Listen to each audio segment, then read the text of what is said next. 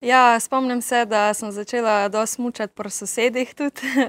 Um, prvič na smuče, kdaj sem stopila, se v bistvu ne spomnim, ker sem bila že tako majhna. Uh, smo pa ja, imeli tule eno tako štrih, ki si se primal, pa si se pel gor, pa smo se spuščali dol po hribu. Uh, drugače pa smo dosti starši pol hodili, ker sem pa že malo starejša, um, na te zimske počitnice, pol tudi kam v tujino smučati. Uh, in sem zmeraj res ful uživala v tem.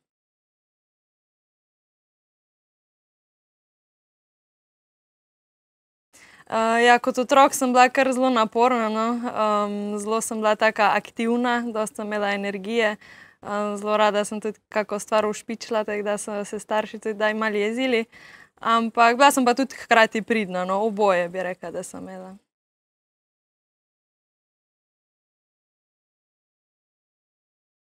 Ja, imam nekaj hobijev. Um, zelo rada uh, igram tenis, odbojko, kar sicer trenutno ne smem, ker sem imela pač iz pahe rame, pa je treba zdaj to dati na stran, da ne bi bilo kakih težav. Ja, druženje s prijatelji, ne, je tole hobi. um,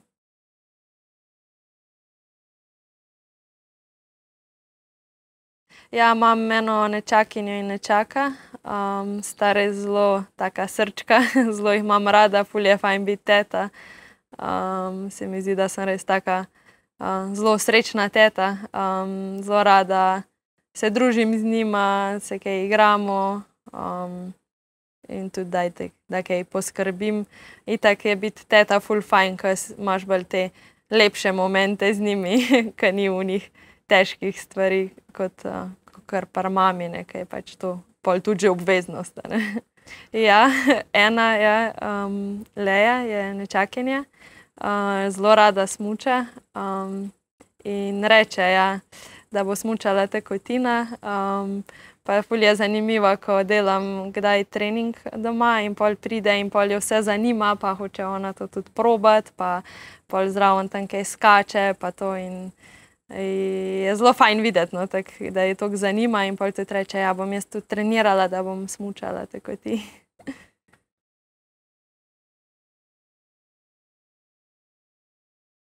Ja, je bilo v družini, ja, tako sem rekla, smo hodili tudi na te počitnice pozimi s starši smučat. pač oba starša sta rada smučala, ne pa da bi trenirala, no.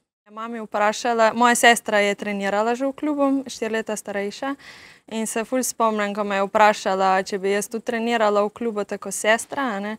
In sem bila res tako ful vesela, pač sploh nisem nič razmišljala, takoj sem rekla ono: "Ja, itak, ful bi pač."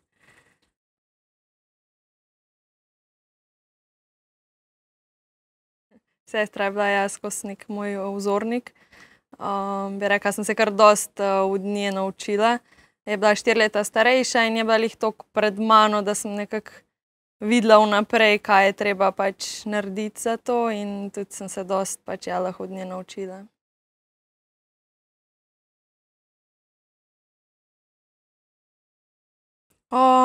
ke imam ful rada ta šport, pač ful uživam v tem. pa tudi pač zaradi tega, ke sem verjela, da sem lahko dobra v tem. Ampak v prvi vrsti je bilo to, da sem uživala v tem. Ni bilo v prvi vrsti neka misel, ko sem začela smučati, da bom pa, ne vem, ful uspešna.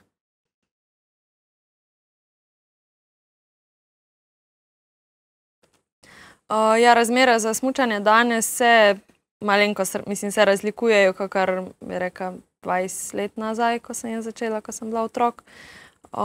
Ja, je zdaj kar, bi rekla, bilo že včasih potreben velik ta finančni vložek, zdaj je najbrž še malo večji, tako da je mogoče so otroci, ke bi radi to trenirali, pa si tega ne morejo privoščiti, kar je pač zelo žalostno, ne.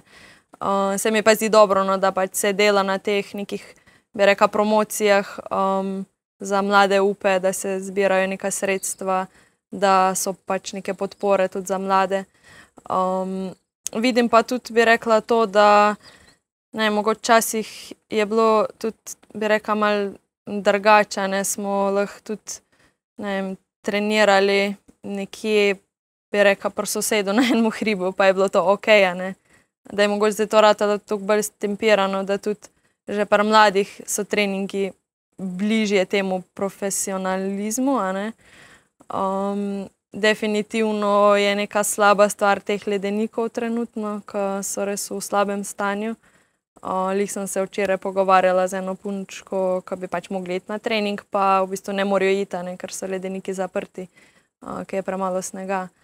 Um, teda ja, pač je pa res, da ko si ti otroka, ne, um, tudi spet preveč tega smučanja poleti, ne, pa na ledenikih, pa preveč bi rekel, nekega treniranja med vraci in forsiranja, tudi ni dobro. Ne.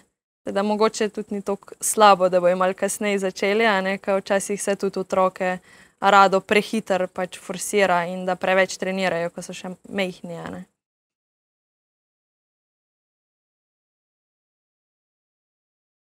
Ja, v meni so videli, že ko sem bila mehna, uh, se je že videlo, no, da imam nek talent, da pač znam v bistvu. Um, imam občutek pač za smučati, pa da sem tudi, moraš biti pogumen tudi za to. Sem bila taka, že kot mehna, dosti, bi rekla, neustrašna. Um, in ja, tudi trenerji so videli to v meni, bi rekla, in tudi zaradi tega, pol, sigurno če ti drugi dajo neko potrditev, a ne pa tudi lažje sam imaš neko vizijo, da boš lahko nekoč uh, res dober v tem.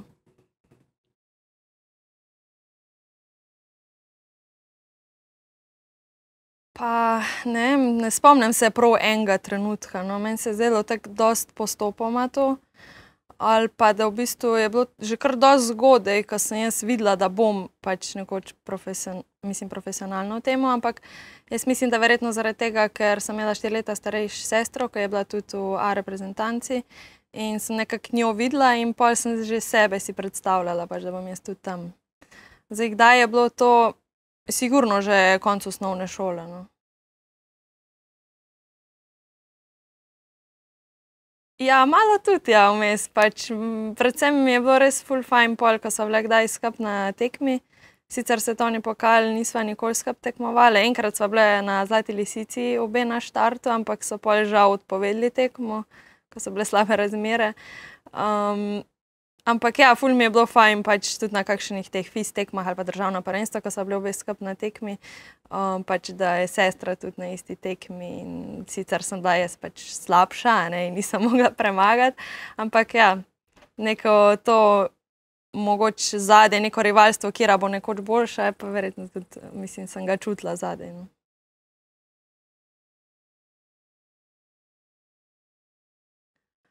Ne, to se pa ne spomnim. ne vem. Um, ja, bi mogla zdaj res ful pomisliti. Ja, po moje je bilo to že tam, ko sem bila res ful mehna, pač pri Cicibani, mislim, pač časi smo rekli Cicibani. Ful se spomnim ene tekme, um, ta Ski Open je bil, um, ko so tekmovali različne starosti, ne, in sem bila tretja, pa sem bila ful manjša od drugih, ne, in pač tam na stopničkah je fulhecno pol izgledalo, ko smo pač tako manjša. Um, možno, da je bilo to pač takrat neki te, te začetke, da sem pač prišla na stopničke. No.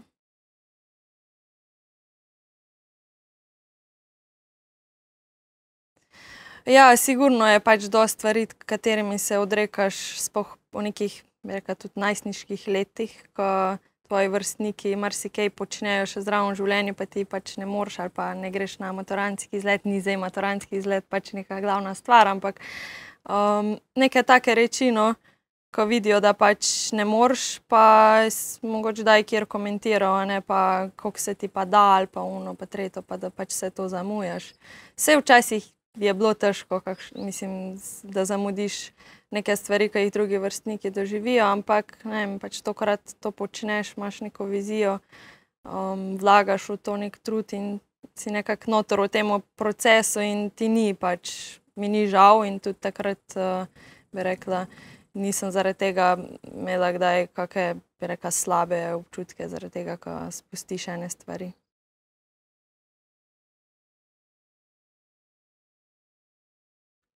Ja, tudi možno, ja. Ker tudi najbrž pol, ko končaš, rabiš en čas, da se navadiš na drug način življenja. Um, da si tudi, mislim, zasvojen z neko, nekim urnikom, pa neko da v neko reč ful vlagaš in izboljšuješ ene stvari, da bo pač se pol to na koncu poznalo na rezultatu.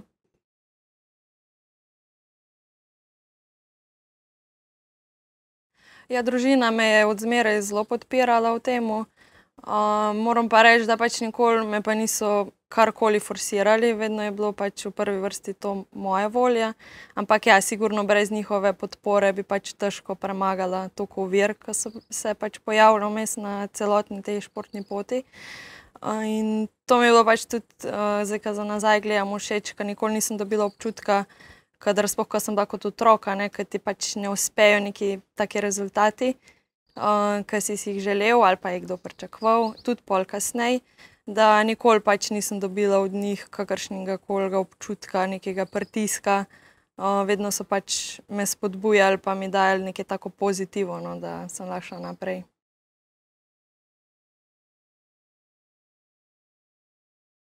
Ja, bila sem v dolgoletni zvezi s partnerjem deset let. sva se pa razšla zdaj lani. ampak ja, moram reči, da mi je on res zelo veliko stal ob strani.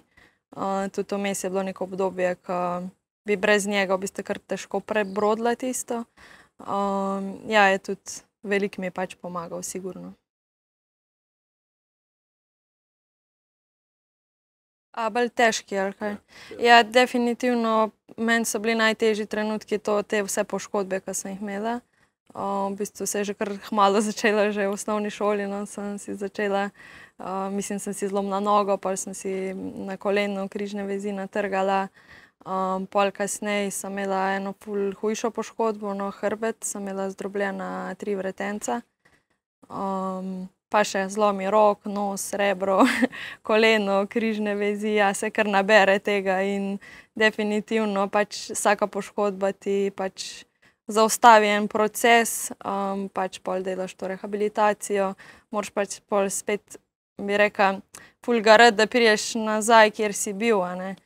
In te, te stvari so mi definitivno bile pač najtežje, no, tako skozi kariero.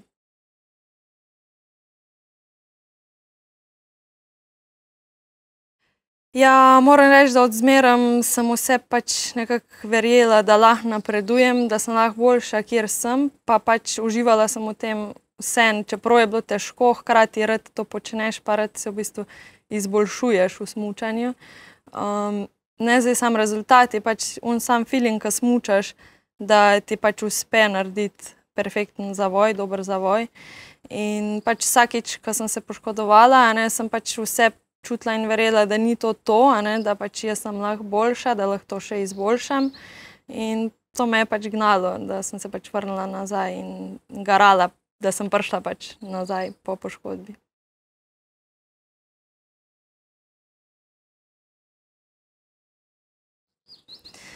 Ja, v srednji šoli sem imela v bistvu neko tako pač željo, vizijo, da bi študirala fizioterapijo.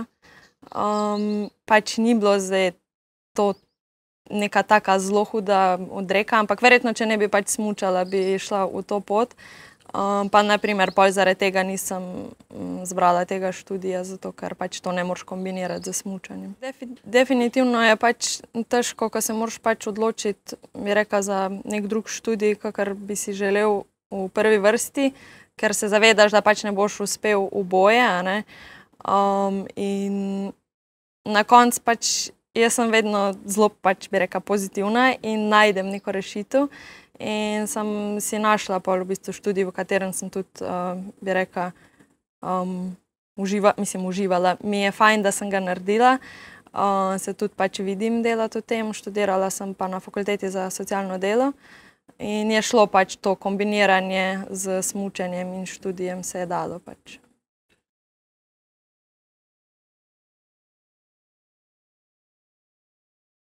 Ja, definitivno pač, če si profesionalni športnik, ne, je težko, zraven delati študij, ampak ni pa nemogoče. definitivno se da. tudi na, na fakulteti se da dogovoriti, da delaš, jaz sem se pač super lahko dogovorila, da sem delala na drug način neke vaje. In sigurno se najdejo študiji, ke se da usklajevati oboje. In tudi v bistvu ni bojazni, da bi zaradi tega bil slabši, ker pač po zimi v bistvu narediš premor, saj jaz sem ga, no nisem pač takrat delala študije, ampak sem pol pač malo več spomladi in proti poletju, da sem pol malo več, um, bi rekla, namenila časa temu, da sem uspela narediti ene obveznosti. Je pa res, da se pol pač malo zavleče, da rabiš kako par let več, ne, kakor ostali, ampak na koncu je splačano, zato ker je res super imeti še kakšno drugo stvar zraven in tudi se mi zdi, da če nimaš sam šport, da veš, da si še neki v, na drugi plati v življenju nekaj naredil, si tudi lahko bolj sproščen pač pol v tem športu.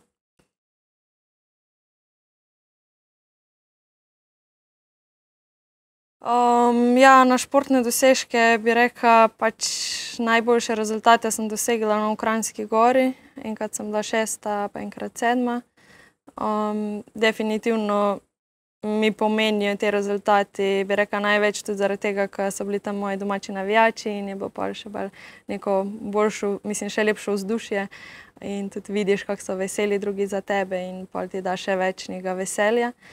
Um, zdaj na neki osebni ravni pač si, mislim, je to nek dosežek, da sem v bistvu zaključila uh, do diplomski in podiplomski študij magisterij na fakulteti za socialno delo um, pa tudi uh, ta strokovni izpit iz socialnega varstva. Um, tudi si štejem no, to kot nek dosežek, da sem to hkrati, poleg športne kariere, uh, pač uspela doseči.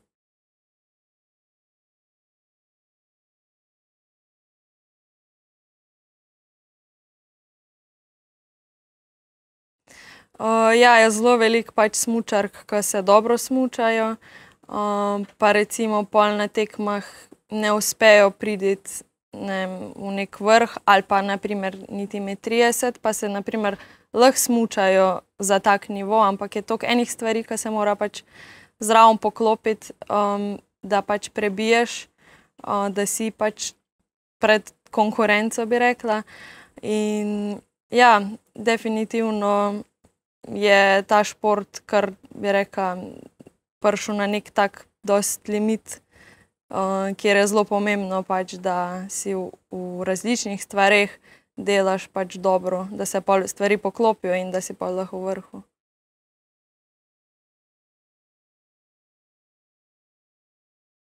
Ja, želja je zelo veliko pomembna, ja, zato ker predvsem, kadar pridejo, bi rekla, neki momenti, jaz vidim to bolj v tem, kadar naprimer so neke razmere in treningi, ko ti ne gre, pa bi rad nekaj naredil, pa telo ne naredi, bi rekel, ali pa ti ne uspe narediti neke vožnje, neke položaje smučarske. In vem, ti je kdaj težko, ali pa me kdaj strah. Če ne bi imela pač vse vem, te želje, um, bi verjetno pač teži to šla čez to, ne, da pač se boriš, da probaš to popraviti, da se izboljšaš.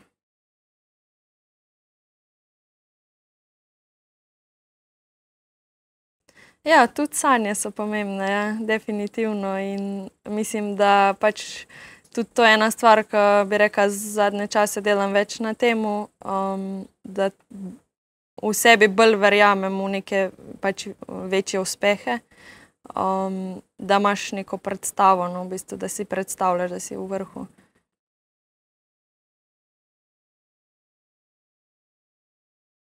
Um, ja, jaz predvsem z nekim samogovorom.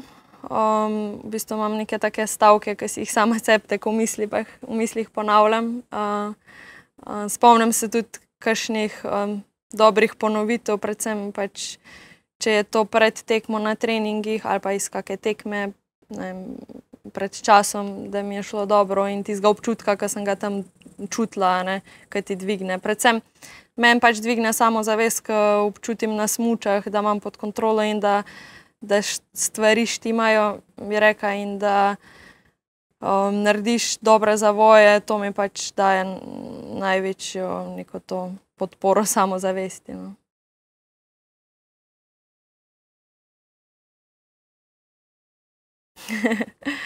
um, ja, za vsake popolni zavoj bi lahko rekla, da je najbrž tudi za vsakega malenkost različen, no, vsak ima nek svoj, mislim, način. To so zdaj neke finese, ne? ampak rečemo za me, je to, da mi pač res uspe na čisto začeti zavoj um, in da naredim vse do vrat, to gibanje noter, da stisnem zavoj do vrat, da sem prav uravnotežena. Um, in da pol v bistvu pod kolom grem samo ven, pač da ni, več, ni treba več delati pod kolom. No.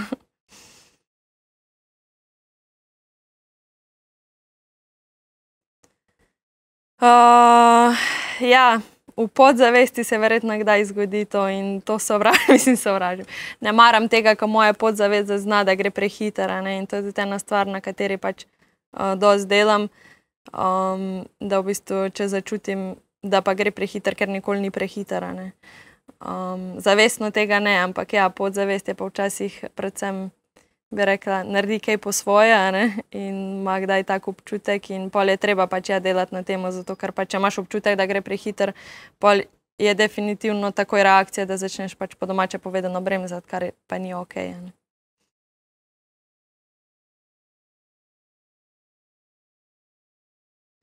Ja, zaupanje je res zelo pomembno v smutku. Um, v prvi vrsti moraš najprej sam sebi zaupati, um, kar sama pri sebi vidim, da najbolj lahko na tem zgradim um, na podlagi pač treningov. Um, tudi na tekmah, definitivno, nekako se ti to zaupanje lahko gradi po nekih dobrih rezultatih. Um, zdaj, zelo pomembno je pa pač seveda zaupanje v ekipo, v trenerje, da zaupaš trenerju um, kar pač on te nekako zelo usmerja, kaj delaš na robe, v bistvu ti da neke napotke, kaj moraš popraviti. In sigurno to je tle kar zelo pomemben dejavnik in moram reči, da pač um, zelo dobro delujemo. No?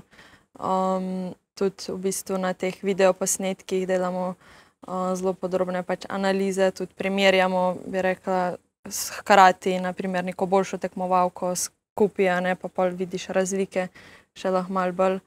Um, zelo pomembno je pa pač tudi pri sami upremi. Um, sigurno um, je važno, da pač testiraš upremo, da probavaš stvari, ampak moraš pa biti previden, ki je neka ta meja, da ne preveč v bistvu se začneš ukvarjati z upremo, da pa na koncu razmišljaš samo o tem, kaj je ok na opremi, pa kaj ni, in pol pozabiš na samo smutanje in na tehniko. Je nekako treba loviti neko to pravo mero med tem, da pač delaš na tehniki, na izvedbi, pa v bistvu hkrati pa pač tudi testirati to opremo.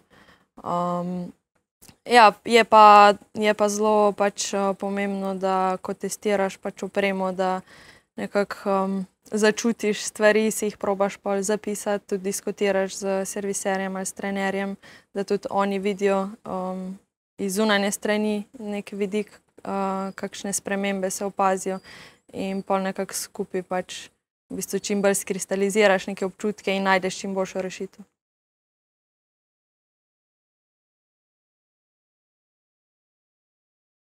Ja, že pač pred štartom najprej naredim neko pač ugrevanje, bolj fizično, razne vaje, um, pač predvsem tudi za tonus trupa, malo za noge, da nekako celo telo se nekako ugreje. Um, Omes pač že prej tudi parkrat, to že neko sem na štartu, že tudi prej na sedežnici ali pa, ki si v hiši, ko čakaš, uh, že delam te neke vizualizacije, v bistvu, da ponavljaš progo. Um, In pol na samem štartu, tudi v bistvu, bi rekel, ne tik pred štartom, ampak par minut pred štartom, še ponovim uh, enkrat celo progo. Um, pol si pa v bistvu probam tak čim bolj, bolj ko se bliža štart, sam nek ti občutek, sam par zavojev, da začutim v telesu, kak jih bom naredila. Um, Omes delam tudi sproščanje, uh, malo z dihanjem, uh, tudi kakšen samogovor je odvisen od tekme do tekme. Um, pač na različnih tekmah pridejo mogoče neke različne skrbi v glavo, uh, in pol si v bistvu samo za samo govorom pač to nekako spucam ven, um, da ni tega v glavi in da je na koncu, pol, ko prijem enkrat pač na štart, da je fokus sam na tisti izvedbi, kako boš pač naredil, in da tudi tako nekako v telesu pač čutiš.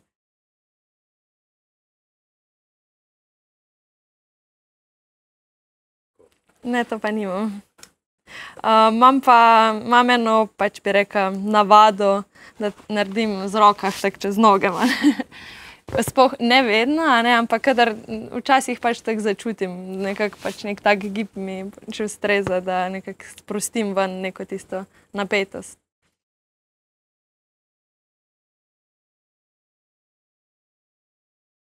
Um, ja, čutiš, da ti srce začne pač bolj hitro biti, um, kar je normalno. Um, na različnih tekmah so bili tudi različni občutki.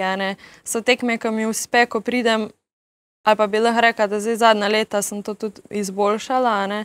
Da v bistvu, ko pridem tja, da sem v nekem tunelu, pač bi rekla, res tisti fokus, da pač pročutim uno v telesu, da sem močna, v bistvu to mi je zelo pač koristi, da čutim tako v sebi neko moč. In da pač imaš uno predstavo, samo tisti feeling smutanja, pač, kako boš smučal, da je samo to. So pa pa še kakšne tekme, kdaj, ko uskakajo, mislim, uskočijo vmes kakšne usiljene negativne misli, um, kar pa pač ni fajn, probaš pač to čim bolj, bi rekel, spucati, um, da je pol na sami progi tudi fokus. Se pa lahko tudi zgodi, da ti pač pride na štartu, ti pridejo neke misli vmes, te malo v bistvu.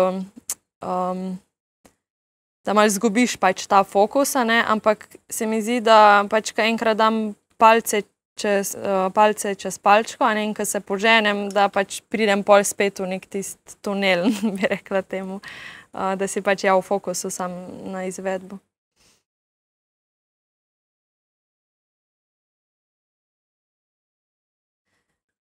Ja, večinoma imaš občutek, približno, a je šlo ok ali ni skoraj, mislim, skoraj zmeraj, se je pa kdaj pač zgodilo. Recimo. Predvsem se mi je bolj zgodilo to, da nisem imela naprimer tako dobrega občutka, kot sem pač, pol, ko sem prišel v cilj, kar je bil pol rezultat.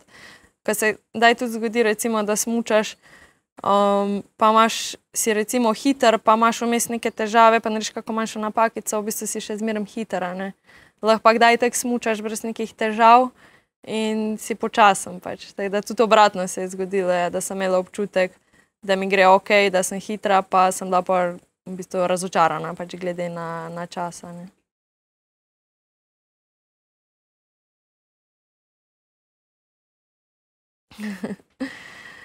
uh, ja, ne smejem se tako zdaj, sigurno ne. Um, bi rekla, pač ja, je neka slaba volja um, pač probam vse ne zatirati ta čustva, jih doživeti. Tudi so, seveda, so pač prišli momenti, ko sem se zjokala, ali pa sem bila pač jezna, pa sem, so bili momenti, ko sem kdaj pač mogla ne, eno stvar vršiti po tleh, da sprostiš tisto jezo ven. Ampak um, pol vsakič poskušaš, pol v bistvu se nekaj naučiti iz tega, ne narediti analizo, pač ugotoviti, kaj si naredil na robe in probat pač iz tega ven potegniti neke dobre stvari, da boš pol boljši.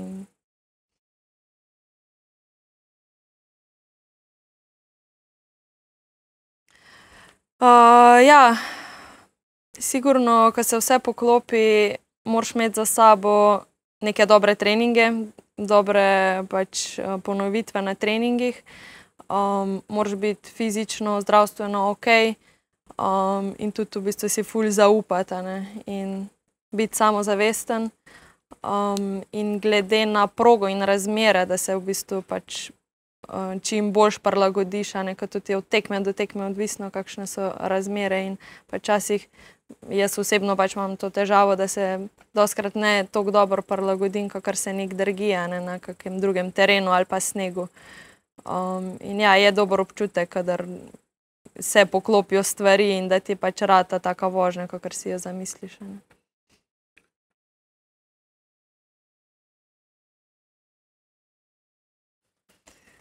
Ja, sigurno pač pridejo take misli. Um, jaz si pač rečem, da verjamem, mislim, skozi verjamem, pač bi rekel sebe, da še, nis, da še ni to to. In da pač, ok, to si že pač, rečem si, to si že pač vložila garanje in truda to kleto to. In se mi zdi, da pač še nisem nekako tega prav unovčila. Ne?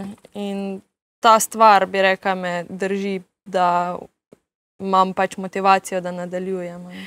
Ja, kdaj se tudi. Uh, So tudi trenutki, ko se prepustiš, pa pol ni to samo ena sekunda tega, ampak imaš pa recimo lahko tudi kako uro več ta občutek vse. Sploh bi rekel, zdaj več karataš malo starejši, ne v zadnjih letih. Um, zdaj, da bi si pač rekel, da je bejš stran, to si ne rečem, ampak ne vem, probam pač nekako um, začeti razmišljati pozitivno. In si, kdaj tudi se mi zdi, da mi pomaga to, da v bistvu si rečem, ok, nič ni narobe, da to čutim, normalno je, da to tudi občutim in da bo pač minilo in vedno hitro mine, pač nimam nikoli krize, da bi zdaj to bilo več dni ta občutek. Lahko prije sam en dan tak, pa si rečeš, ok, pač danes imam tak dan, sej bo minilo in pol drug dan sem druga.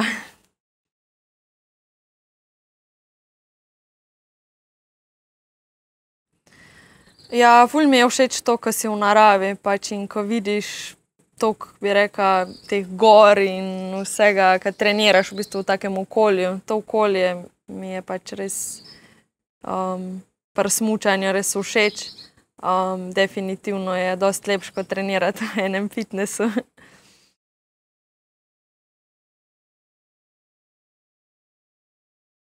Oh, to je pa res težko. Um, a na dan, a na teden. ja, koliko treningov? Milijon.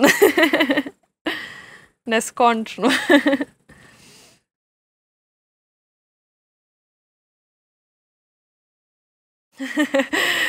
ja, ne vem, če smo jih prijatelji, kakorkoli bolečina, pač ni fajna, ne? ampak veš, da zmeraj mine, ne? da enkrat bo nehalo boleti.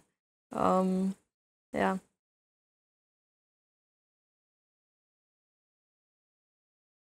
Jaz bi rekla predvsem to, da v bistvu sem na treningih začutila, da znam narediti res zelo hiter zavoj in pač si želim teh zavojev več. Bi rekla, un občutek, ko narediš pač prav zavoj, je pač res dober. Zraven je pa definitivno povezano pač pol tudi s tem nekim dokazovanjem ne? um, in tudi pol v bistvu na koncu rezultata, ki je ključen. Um, jaz bi rekla pač tako obojeno. Um, ja, pač na sami tekmi ne, je definitivno kdaj v, v meni neka borba, predvsem v tem smislu, ko so neke razmere, da se ne počutim, bi rekla, hodobno in moram iti ven iz neke varne cone obdobja.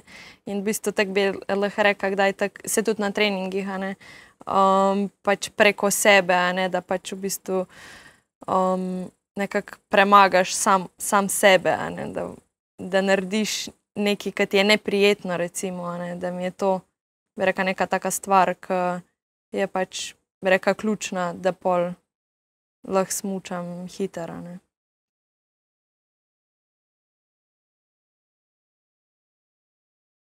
Um, pač poleti moramo res zelo veliko delati na kondicijski pripravi.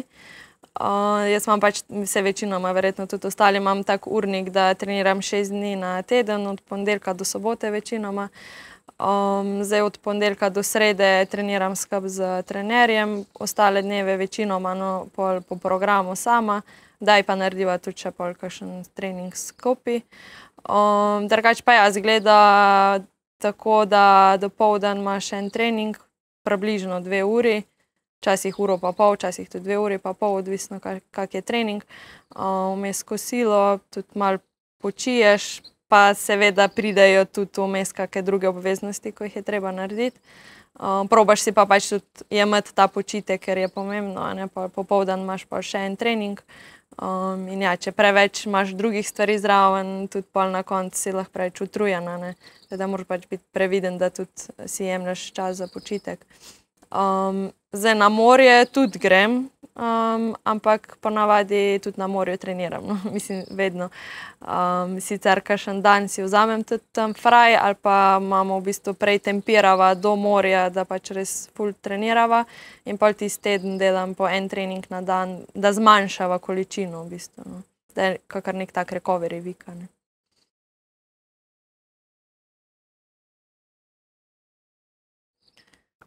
jaz mislim, da olimpijska medalja.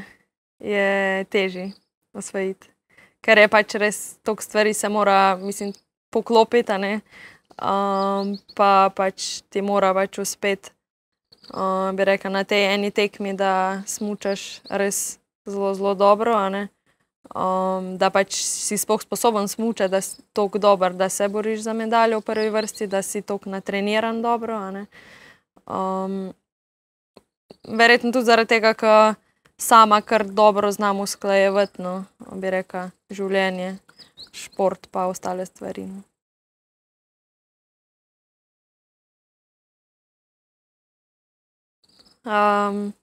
trening, želja, motivacija, odrekanje, fokus. To sem zdaj na hitro. Mogoče bi čez en cajt nekaj drugega.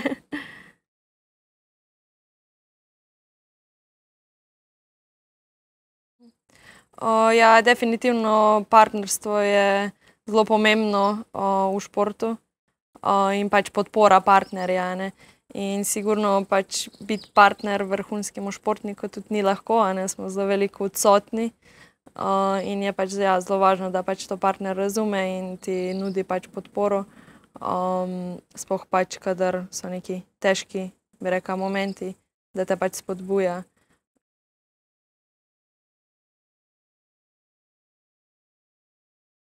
Ne. Čeprav bi kdaj mogla biti. Ja, nisem sebična, ampak, včasih moraš pa v tem športu tudi imeti neko mero pač sebičnosti, zato ker moraš pač, postavljati sebe na prvo mesto in tudi dati kake stvari pač, bi rekla, na stran za ceno pač uspeha.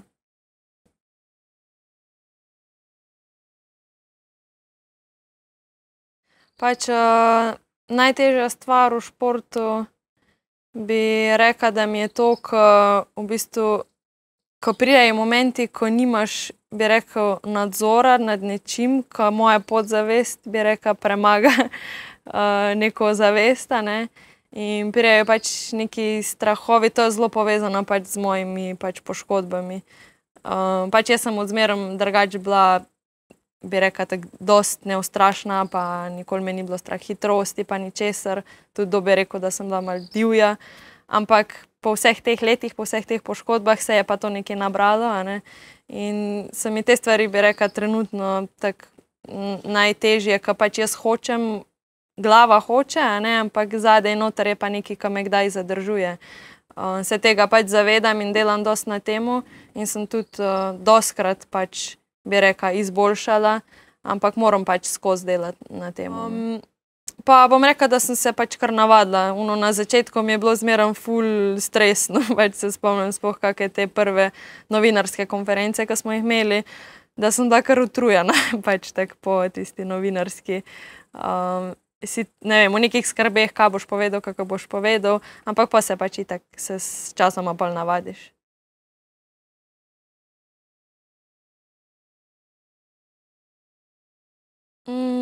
To pa ne, pač, pač v športu te ne glih pripravijo, no, na te stvari. se mi pa zdi, da pač itak najboljša priprava je pol pač neka praksa, saj normalno, da tudi je res, da nekdo pač je bolj za to ke drug pa nekomu že od začetka ni to težava, a ne, ampak ne vem niti pač, na kak način bi te pač pripravljali.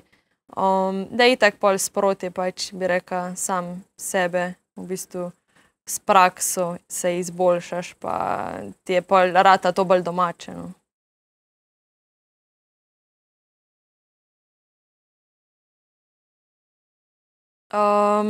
ja, ja, pač, odvisno od dneva, ne, saj si tudi vzamem čas za prijatelje. Se mi zdi pač zelo pomembno. Um, zato, ker so bila vmes obdobja, ko sem bila res zelo uh, zaposlena z večjimi stvarmi, ne, pa ko sem delala tudi zelo veliko pač za študij. In pol na koncu, v bistvu, ja, so bila obdobja, ko nisem imela pač časa za prijatelje, uh, mi pa to zelo veliko pomeni in si vzamem čas. Ja.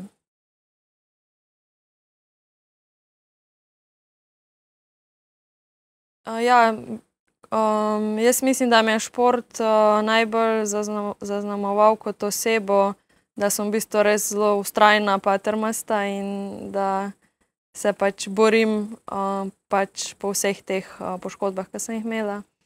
Um, da mi je to nekako, bi rekel, pustilo nek pečat, ki bo ostal.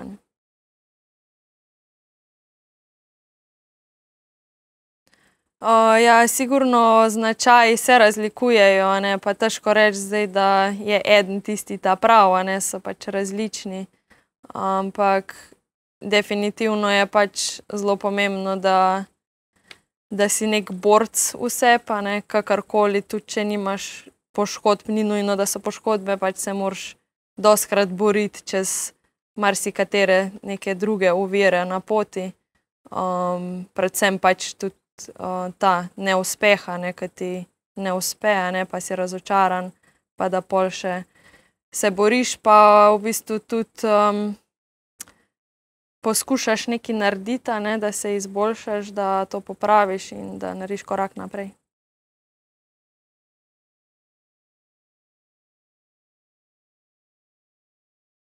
Um, bi kar rekla, druženje s prijatelji. Da mi je to tako neka sprostitev. No. Uh, delam pa pač tudi tako sproščanje na osebni ravni, tudi delam uh, sproščanje z dihanjem neka meditacija, sploh pred spanjem. Um, to mi je pa na nek drug način pač sprostitev.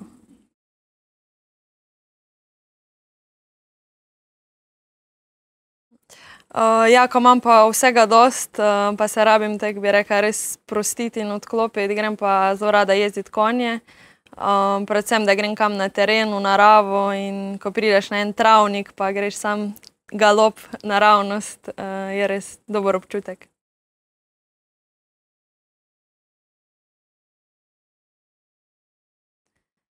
Uh, ljubezen, um, sreča, um, spoštovanje, um, dobrosrčnost, um, da pomagamo drug drugemu. energičen.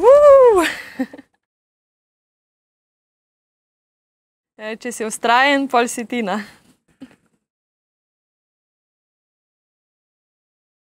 Ja, za predanost moraš pač včasih kakšne druge stvari dati na stran, da si predan eni stvari in žrtvovati kaj drugega, da ostaneš predan tisti stvari, kateri hočeš biti predan.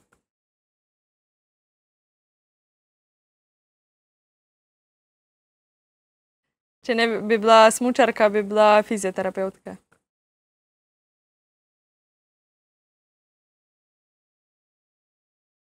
Oh, jih je bilo kar dosti.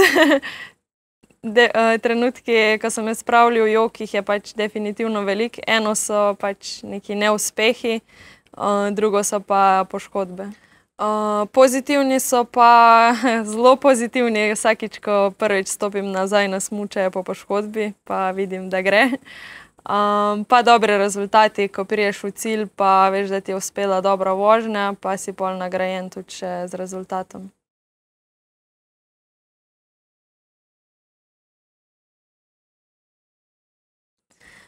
Um, Ja, v karieri zelo veliko pomeni družina. Um, sigurno so športniki, kjer imajo boljšo podporo v družini kot nekateri drugi. Um, najbrž se pač naučijo na drug način, ne dobiti ali najti to podporo. Ampak je družina tista primarna, v bistvu socialna skupina, ali kako bi temu rekla, ki ti je najbližja ne, in je definitivno zelo pomembno, da te podpira v športu.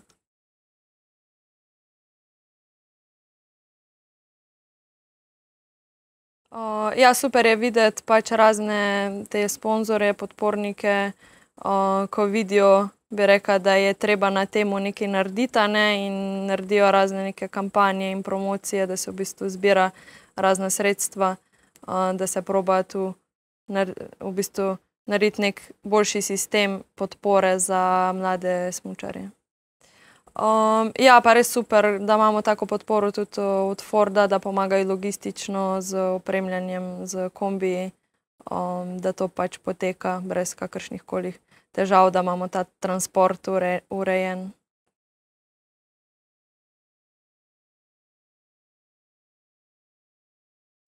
Uh, je, če bi še enkrat zbirala, ja bi se še enkrat odločila za isti šport.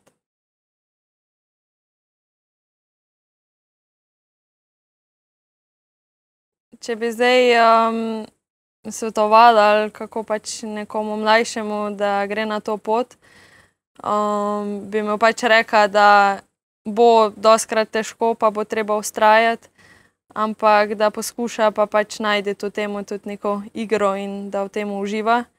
Uh, da, definitivno pa pač so momenti, ko je težko, pa se je treba v bistvu sam sebe prepričati, da greš čez to uh, in ustrajati in iskati pozitivno. No, se mi zdi tudi to zelo pomembno. Jaz, če bi bila v stvarih, ki so me uvirale na poti, negativna, verjetno ne bi tako dobro to premagala. Ne?